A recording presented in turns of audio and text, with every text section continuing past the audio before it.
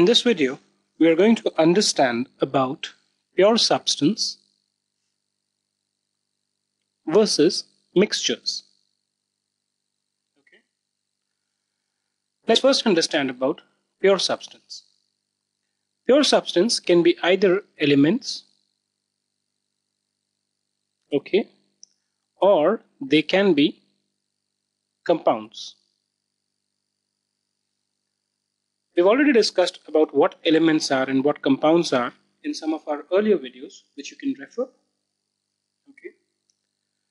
Now, if we look out in the nature, pure substance, which are there, let's say elements and compounds, are rarely found in pure form in the nature.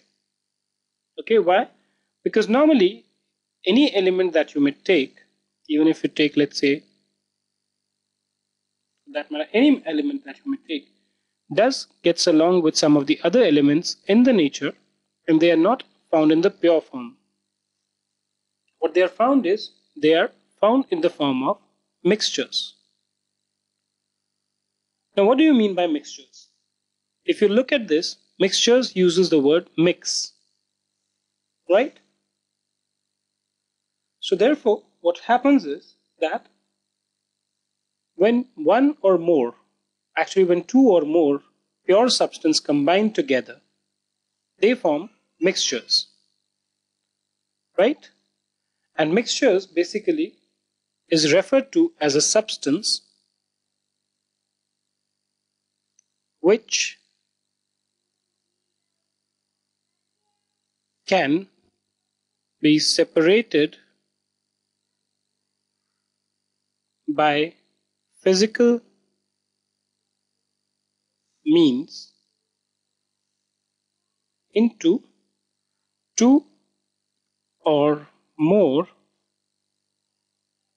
pure substance. Why? Because as I told you, let's say you have pure substance 1 plus pure substance 2. When the two of them combine, they will form a mixture.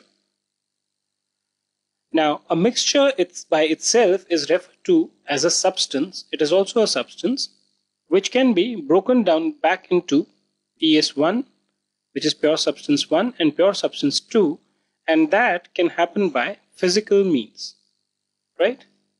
So you don't need to kind of add on chemicals to separate them. By physical means, you can separate a mixture into two or more pure substance, right? Let me give you an example to illustrate this point. Now, steel is something which we ordinarily use in our day-to-day -day life, right? Steel is basically an alloy. Okay, alloy means what? It basically contains of two or more components. So in steel's case, steel is formed by using iron plus carbon plus manganese. When the three of these are combined, you form steel.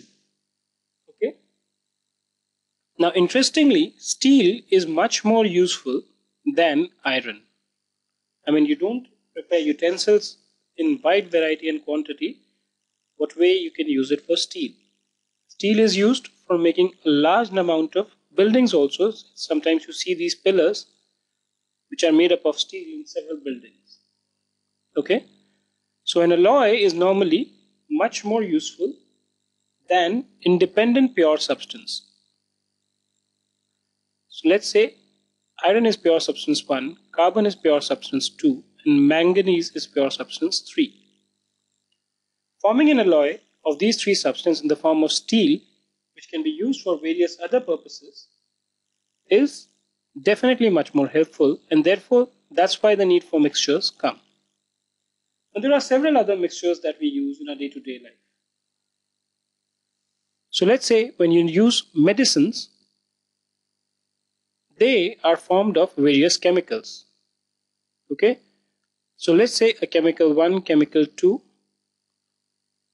plus salt or whatever it might be, they are combined to form medicine 1. Another example is, let's say you use soaps. that also contains various pure substances which combine together to form soap. So all these are examples of